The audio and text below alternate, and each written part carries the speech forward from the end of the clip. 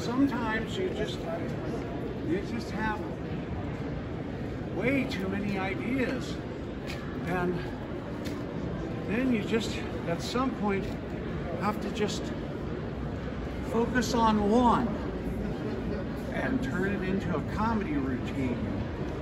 Then move on to another.